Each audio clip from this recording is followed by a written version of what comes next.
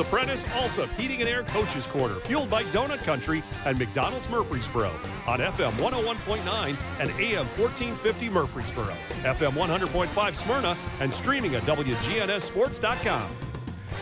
This segment of the Coaches Show, as we talk about Smyrna Bulldog football, brought to you by the law offices of John Day. They've helped thousands of people get legal help when they've needed it the most.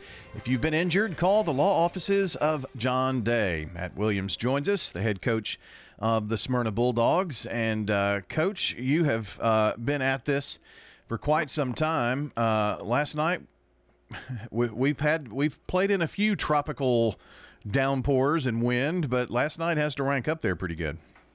Yeah, I would say so. Um, we were talking about I can't remember the hurricane name, but I think it was 04 somewhere in there. And um, you know, I was defense coordinator sitting up in the box and at Smyrna, and just remember the plexiglass windows just shaking back and forth. And uh, I think we were playing Blackman that night, and their punter kicked uh, punt or punted a ball, and it went actually went up and went backwards. So um, I don't think it was that bad last night, but uh, yeah, it was uh, probably a close second. Yeah, yeah I, there was one year also that teams decided to play on Thursday night instead of Friday, trying to beat the weather, and it came in sooner. And Thursday night's weather was terrible, and some, you know, and then uh, the few that stuck it out and waited for Friday had a really nice night. So oh, you just never know. Was, Do you remember that, that year? That was the same year. Oh, yeah, was it? Okay. We, we, we played on Thursday night. It was awful, and uh, Friday night it was beautiful. So, yeah. Uh, but you never know. That's you know, that's, I think that's the thing with this one. If, if we'd all played on Thursday night, it'd have been pretty, pretty uh, acceptable weather. And uh, but you just uh, you never know with the weather forecasters. So. Well, well, I mean, the forecast for Thursday did not look good at all, and that was supposed right. to be the start of everything. And so, you know, you roll the dice one way or another.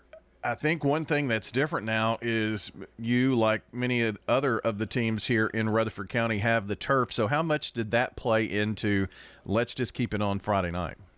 A lot. I mean, because you don't have to worry about, you know, if you had a grass field last night, I'm sure it'd been awful. So, uh, yeah, it factors a great deal into it. You don't have to worry about that, as, you know, that aspect of it. And uh, so that that's that's a nice part of it. I was thinking about that driving in yesterday morning. You know, I just it's crazy how things change. And you know, when you've been in it a long time and you, you take something like that, you used to have to worry so much about it. It, it helps not to have to worry about it.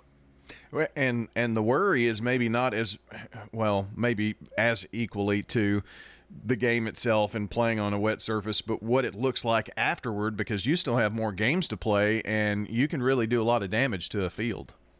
Oh yeah, we've yeah. There's no question. I mean, there's been times in the past where you know you have to come back and roll your field after a muddy game, and uh, just hope that uh, you know that you still have some grass left. But you know, we've always been blessed at Smyrna High School. I think it's something that you know Mr. Race, Robert Rakes established. You know, I think we always had a really really nice field, and so we never really had any terrible you know terrible games where the field was just destroyed. But uh, we I played on, you know, as a coach and as a player, played on some pretty rough fields. So it was nice not last night not to have to stand in the mud and the muck.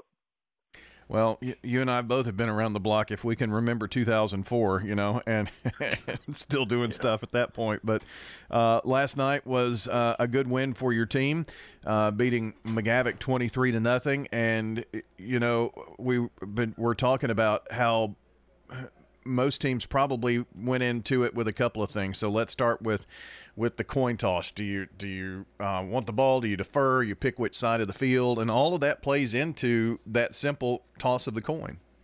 Yeah, I mean, we. I, mean, I told our captain, I told you know Brett Williams, um, is one of our captains. I told him that we're going, we're going to defer, and obviously want the wind at our back. So in that in that case, we wanted to be facing the scoreboard and luckily that's exactly how it started off. And you know, I think there's two schools of thought. You either want, you know, in my my mind, you want to win to start off with and make sure you get off to a good start. And, uh, you know, the thing about last night, though, I don't think it really mattered. You still weren't going to throw the ball very efficiently unless it was just short passing game. And uh, but yeah, it actually worked out the way I wanted to as far as the start, and it actually helped us in our kick game, especially on punts. Uh, you know, Labar Noor last night, our, our kicker punter had just a crazy night. I mean, his first punt was like a 47 yard punt. He pinned McGavock on like the three. I mean, the ball. I've never seen a ball check up like that. It was with the wind.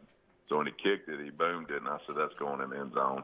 And it hit and hit went straight up in the air, laid down, and just sat there. I couldn't believe it. And uh, then later on, he had an 81 yard punt, And the thing about that one was he did boom it. It wasn't like it was all wind. Uh, he boomed the punt, and then it hit and started rolling, but it didn't roll. It rolled long ways. It was crazy. that wind sort of caught it and just took it down there, and uh, we were actually backed up when he kicked that ball, and uh, that was a huge play in the game. You know, you, you see that sometimes on the field turf when you get a high bounce when it hits, and I, I saw it a couple of times in the broadcast game we had last night. When it bounced up into the air, the wind just carried it. I mean, it was it was like there was an invisible kicker there. yeah, yeah, it's crazy, and you know, I was proud of Lamar for not disappointing. It was three on three of three for PATs, and you got also, you know, with that weather you know, Brett Williams, our long snapper on punts, uh, obviously did a great job, and Grayson Pitts, our uh, short snapper, and you know, Britton Judkins is our holder. You know, to be three or three or three on PATs on a night last night, like last night, and, uh, and to execute your punt game, I, I was proud of all those kids. We've got Matt Williams joining us talking Smyrna football this morning. Um, the other thing after the coin toss, you know, when all of that settled, one of the first things you want to do on a night when weather is such a factor is score first. And you were able to do that, and your defense pitched the shutout. So you got uh, two really good things right there in a, in a in a weird game, weather game.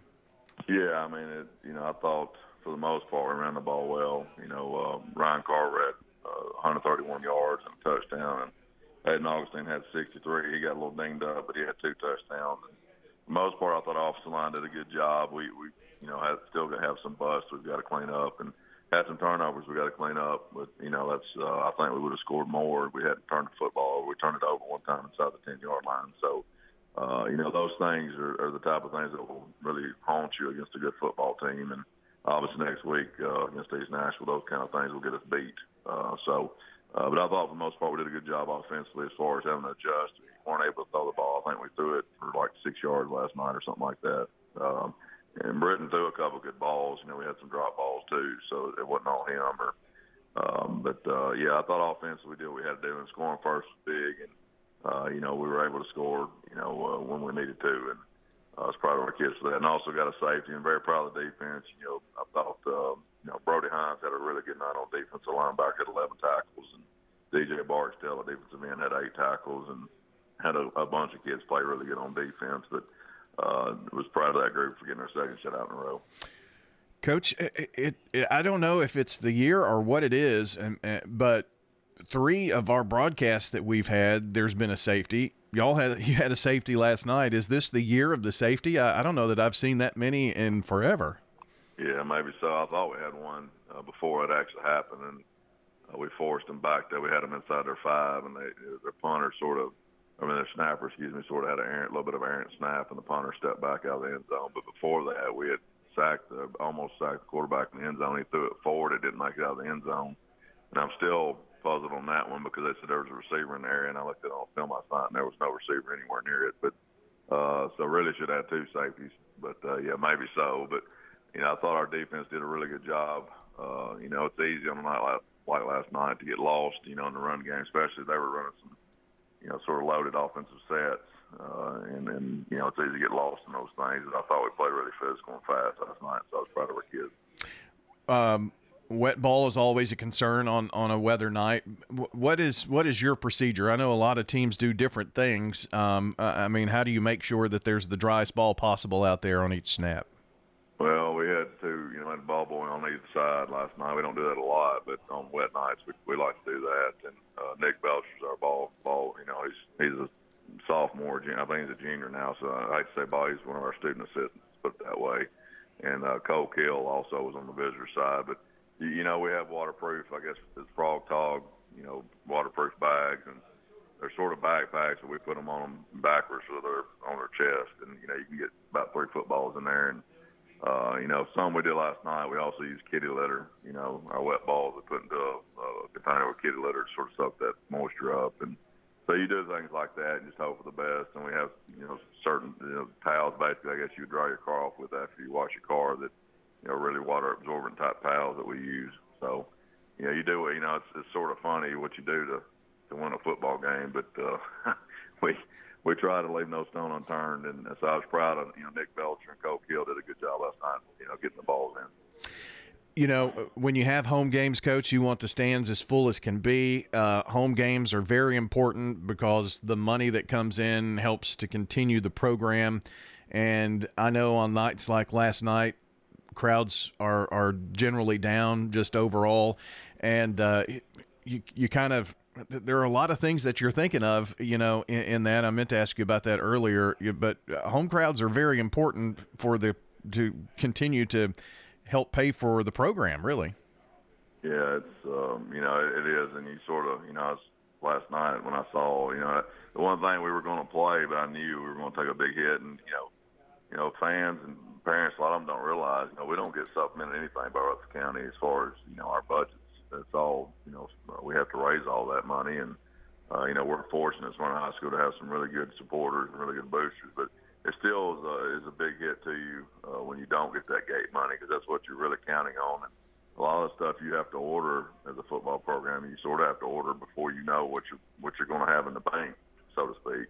And uh, it's called fall billing, and uh, it, you know a lot of those things you have to have to get ahead of time where you get them in, such as helmets, shoulder pads, and, and stuff like that. And um, you know, so when you don't, when you have a gate last like last night, which I'm sure is going to be terrible, and it was our homecoming as well, which normally would have been a good a good gate. Mm-hmm. Uh, you know, you have to sort of offset those things. So, you know, uh, you know, the supporters and people of these programs just need to realize that and maybe try to help out a little bit. Uh, but yeah, you know, I, last night was sort of an anomaly because obviously usually Robert L. Rake Stadium is going to be you know pretty packed, and uh, so you just have to adjust. And that's just what is what it is.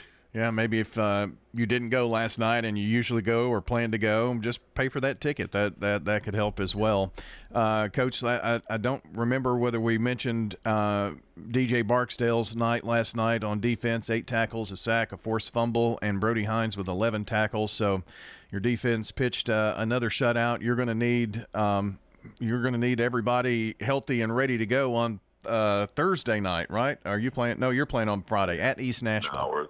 No, no, we're Thursday. Oh, are you? Thursday night at East Nashville. And I thought, yeah, DJ and Brody both play really good. I thought our linebackers in general, you Town sophomore that came in and had a sack, I think a fumble recovery, and uh, Denzel Yarborough played really good. I, I thought uh, defense back physical, and uh, you know Amari Hill, um, you know Jerry Martin's always uh, you know a disruptor like Connor Clark at defensive end. I, th- I saw some good things out of him last night. Thought he played hard. And, the thing about Connor, he had to play a lot both ways because offensively we were in some sets we normally wouldn't be in a lot uh, with top, two tight ends. So uh, Connor, I was proud of him for his effort and, and, and how hard he played on both sides of the football.